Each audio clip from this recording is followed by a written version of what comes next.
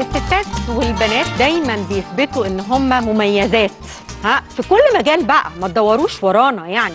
آه الضيوف أو ضيفات فقرتنا النهارده سيطروا على جائزة الدولة التشجيعية ما شاء الله لا قوة إلا بالله مش بحسدهم في مجال السرد القصصي والروائي. دي مسابقة ودي مسابقة حسب ما فهمت. طبعا ما فيش أحلى ولا أجمل من الحكايات ومن خيال الستات. وإحنا لسه بنتكلم قبل ما نطلع على الهواء إحنا واضح إن الستات بتحب تكتب عن نفسها أو بتحب تكتب قصص وتجارب ال- الستات التانيين اللي بيشوفوهم في المجتمع.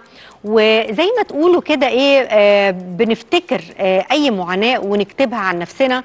ولما بسأل ضيفاتي ليه إحنا كده دايما الستات تحب تحكي عن نفسها عشان ما حدش بيحكي عننا أو ما فيش رجالة بيتطوعوا من ساعة إحسان عبد القدوس الله يرحمه ويحسن إليه اللي كان بينقل إحساس الستات والبنات بشكل حقيقي على الورق. طيب معانا النهارده الكاتبة شيرين فتحي وهنعرف منها تفاصيل روايتها الحائزة على الجائزة اللي هي خطوط ليلى. برحب بيكي معانا يا شيرين. أهلا بيك والكاتبة نورة ناجي وهنعرف منها قصص مثل الأفلام الساذجة ودي المجموعة القصصية هي اسمها كده. برحب بيكي معانا يا نورة. أهلا بيكي مبسوطين إن إحنا هنا. شيرين كلميني بقى آم، الأول كده دي أول جايزة تحصلي عليها القسم ال- الروائي ولا عندك جوائز قبل كده. لا حصلت على جوائز قبل كده. أخدت جائزه ساويرس عن مجموعة البطلة لا يجب أن تكون بدينة. مم. وفي مجموعة اسمها إيه؟ sorry البطلة لا يجب أن تكون بدينة. okay. ومجموعة رأس مستعمل للبيع. دي مم. وصلت للقائمة القصيرة لجائزة ساويرس برضه جايزه ساويرس. آه. آه نوره بالنسبة لك برضو دي أول جايزه للدولة التشجيعية يعني في المجال القصصي ولا كان قبلها جوائز تانية؟ لا أنا خدت جائزة يحيى حقي في الرواية. أطياف كاميليا وترشحت برضو ل- اسمها إيه؟ أطياف كاميليا. أطياف دي كانت. رواية. آه وترشحت كمان لساويرس كانت في القائمه القصيره وكان في برضو رواية كمان بترشح لساويرس في القائمه القصيره اللي هي بنات الباشا. ليكوا آه، يعني إصدارات وطبعتوا دخلتوا معرض ال- الكتاب. شيرين ابدأي لي بقى الحديث. كلميني عن خيوط ليلى. وإيه اللي خلى خيوط ليلى تحصد آه، آه، الجايزة دي؟ آه هي من وجهة نظرك يعني. تمام أنا هقول من وجهة نظري لأن أنا ما أعرفش وجهة نظر لجنة التحكيم يعني. هو ده العمل الرابع ليا. بعد رواية ومجموعتين قصصيتين. يمكن الفكرة بتاعتها أنا قدمتها أنا بحب أقدم الأفكار بطريقة مختلفة يعني. نظرتي للدنيا باخدها من زاوية بعيدة شوية وأطلعها في في العمل.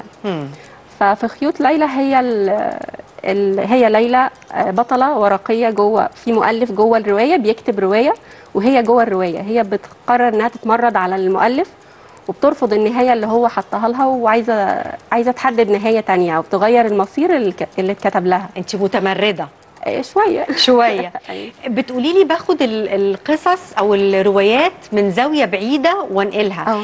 آه، قصدك الثيرد بارتي أو الطرف الثالث دايما موجود عندك في الروايات ولا قصدك آه، يعني إيه بزاوية بعيدة؟ يعني مثلا في مجموعة رأس مستعمل أنا ب... كانت المجموعة معظمها بتعالج قهر المرأة. مم. فأنا مش هتكلم عن واحدة بتعيط ومتضايقة ومقهورة وحزينة. لا أنا بجيبها بفكرة تانية إن راجل ما عجبوش دماغ مراته فقرر إن هو هيخلع دماغها وهيحطها على موقع تسوق وهيبيعوها ها ويجي لها عرض للبيع وتبيع راسها بعدين يدوروا على راس تانية تعجب الراجل يحطوها. بيقرر إن هي شكلها من غير راس عجبته أكتر وبقت أحلى ده لا ده بس ده في عمق على فكرة. أيوة، يعني قصدك أيوة. تقولي إن الرجالة مش عاجبهم مش تفكيرنا دماغ دماغنا مش عاجباهم. أيوه بس. أنا فهمتك كده. فنحب طيب. نلفها من زاوية تانية. أوكي. على فكرة أنا افتكرتك هتقولي لي ما عجبوش في النهاية غير آه راس مراته. لا. فرجع حطها ده تاني الراجل اللي مش موجود بقى. ده اللي مش موجود. طيب.